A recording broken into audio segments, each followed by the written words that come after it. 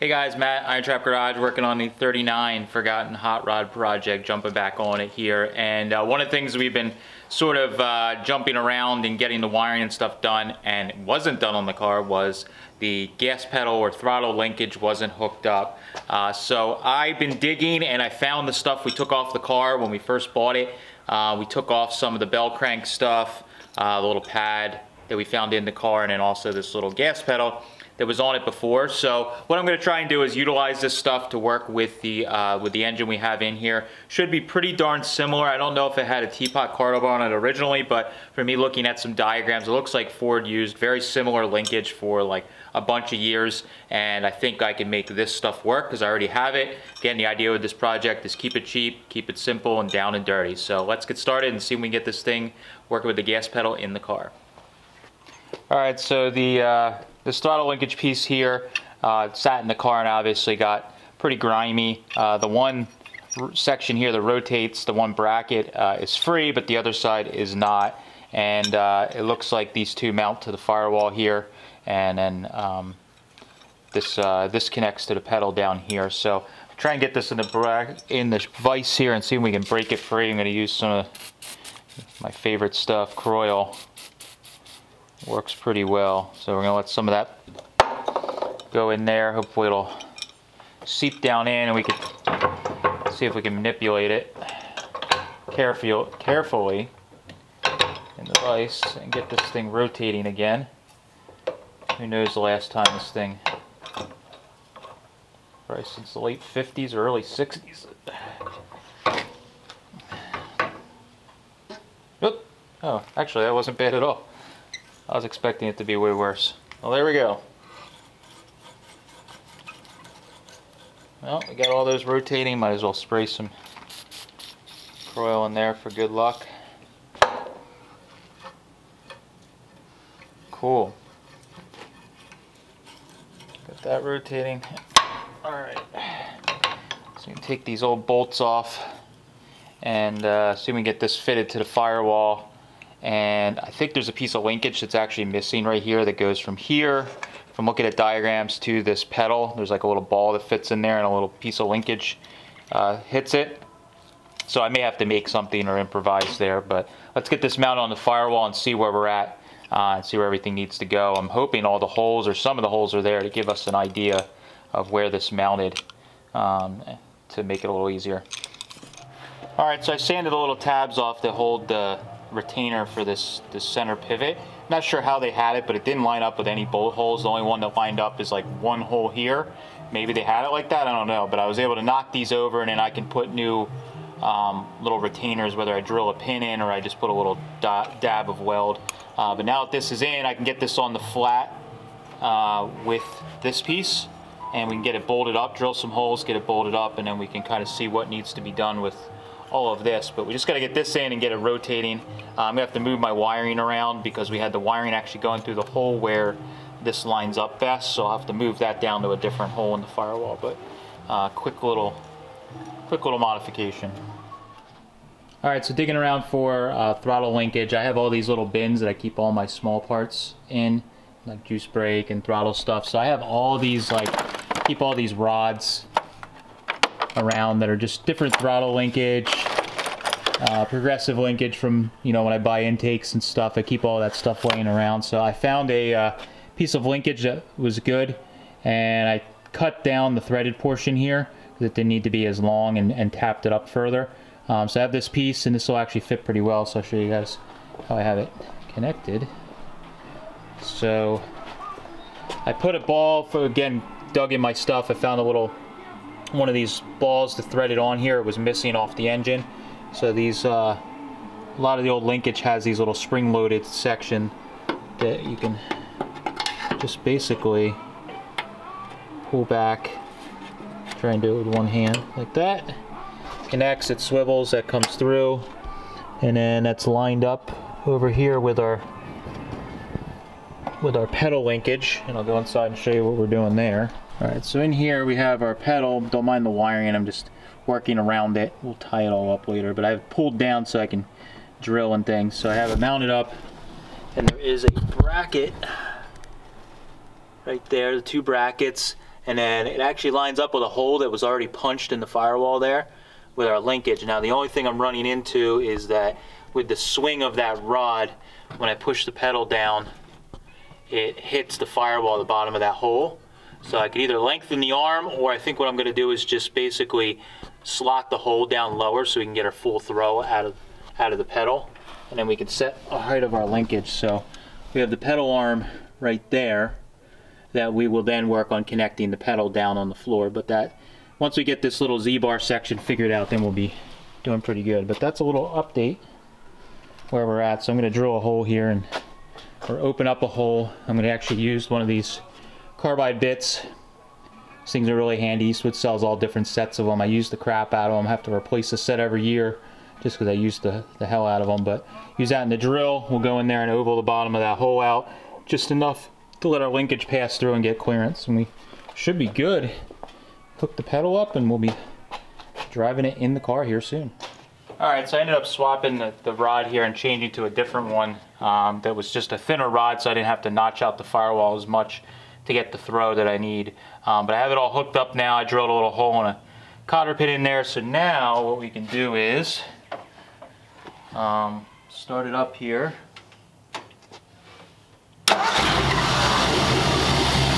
And I'll work, work the throttle in the car.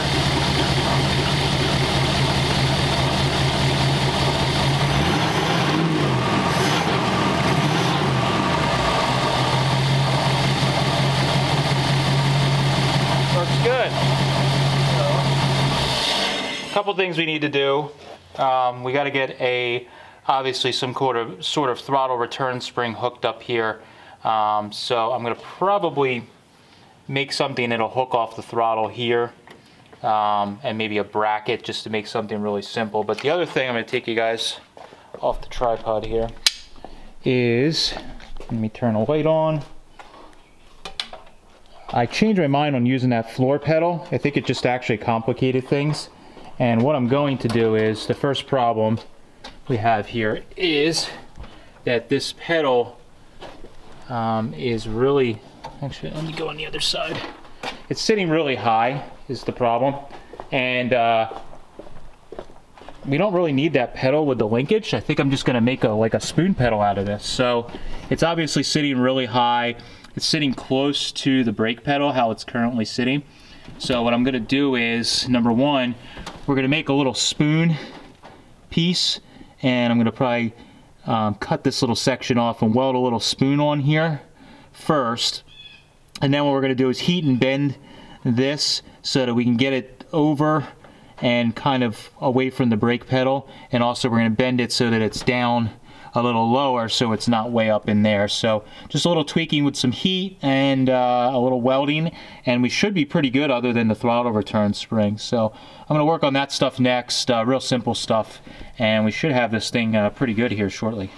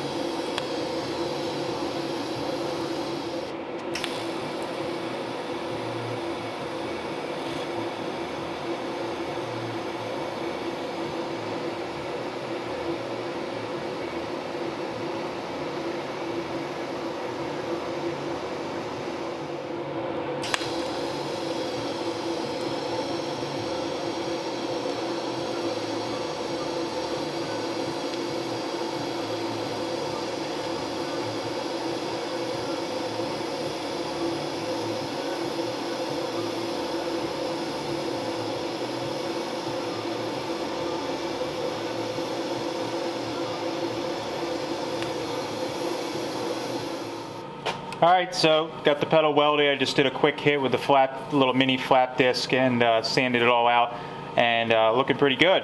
So now that we have this uh, little pedal pad we can work with here, I can bolt this back into the car and uh, then we can work on heating and bending this. It's kind of hard to heat and bend it out of the car without seeing what we need to do. So I'm actually going to use the TIG to heat and bend this in the car because I don't want to have to use an open flame.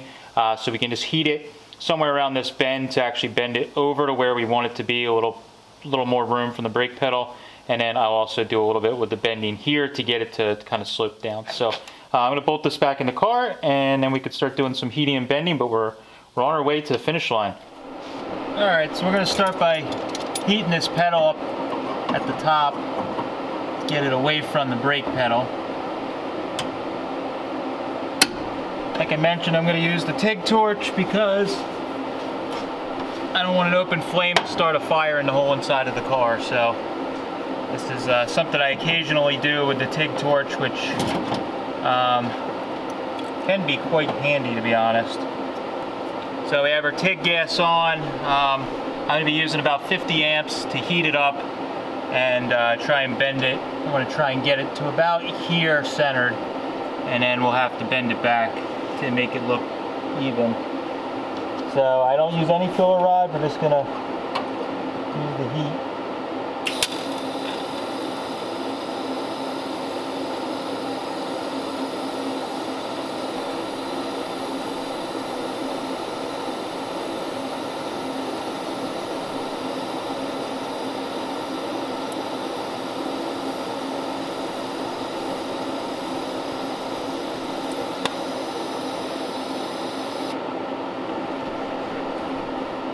Had my vice grips at a horrible spot. They weren't much help. So I think I might want to go, well, it actually isn't too bad. I'm to turn the amperage up just a little, well, no, we'll keep going.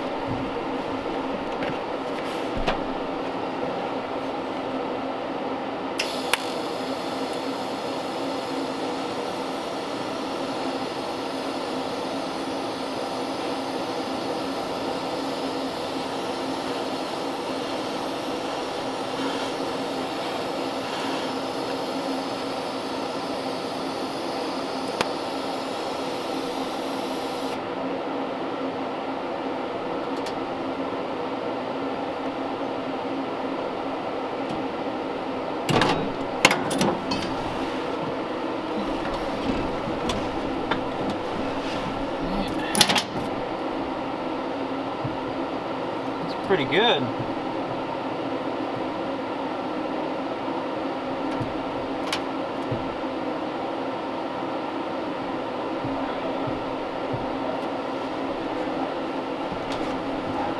Pull the lock out of the steering, out of the throttle stuff. I got a little lock pushed in there. I'm gonna give it a try. Alright, so we're going to try the throttle pedal here, and it looks like it's pretty good. Um, I like the distance. Um, good, plenty of space here to move over. Um, and uh, I can go all the way, that's the full throttle. And when it's all, basically all the way up, um, it's right about here, just below the brake pedal. So I think it should be a nice, pretty comfortable for me.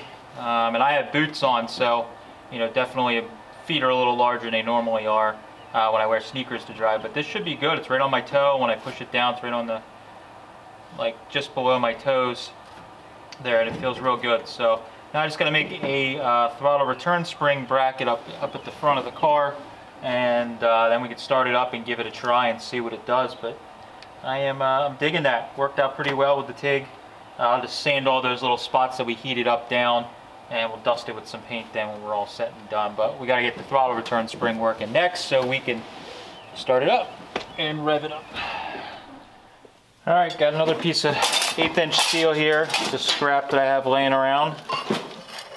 And we're gonna just cut it into a little, took some measurements of how tall we need it to be. And using my bench shear, which you guys notice I use the crap out of. So much easier than using a saw.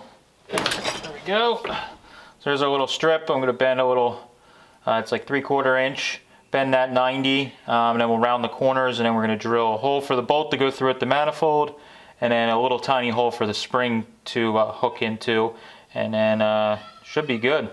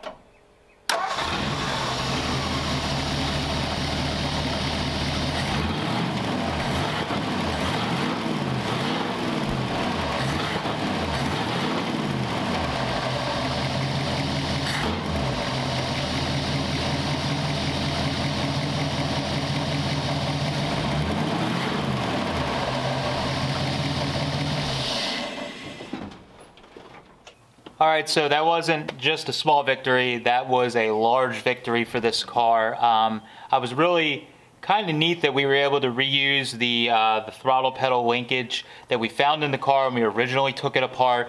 Even though we're not using the, ori the original T-Bird en engine that was in the car when we, when we found it, uh, we were able to use some of the pieces and parts that were in it back in the day when it was uh, driving around. So the use that linkage was pretty cool. I think I kind of simplified it. Uh, instead of using the pedal on the floor with a little piece of linkage, hooked to the, the factory T-Bird bracket, um, simplified it, put a little spoon pedal on there, heated and bent and made everything work. And actually I think it's a nice blend between what would have, looks like would have been in the car originally and, uh, and that that Y-block stuff. And honestly, it's probably a more positive feel just getting rid of some additional linkage in there um, so that it works really nice. The uh, throttle return spring works awesome. Pedal feels great.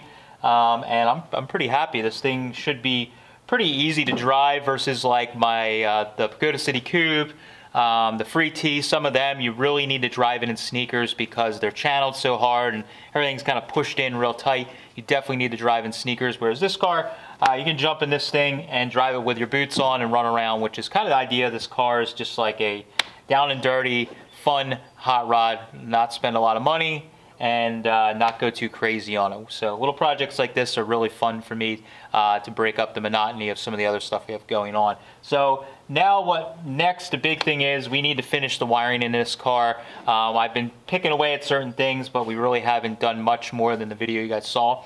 So we're gonna work on getting the wiring to the front of the car um, all hooked up so we can put the front clip back on. Um, I have a belt figured out for the generator. I just got to uh, put a little bracket to for the tensioner on the generator. We'll be good there. We can wire up the gen generator to the voltage regulator, uh, which I have those parts, and a bunch of stuff just came in for the car. Another really cool thing I got for the car was I picked up an original, like our reproduction of the original rubber floor mat that would have went on the front half of the car in this. So now we got the gas pedal done and everything. I can throw that down over top all this and it'll start really making the car look a little more finished inside.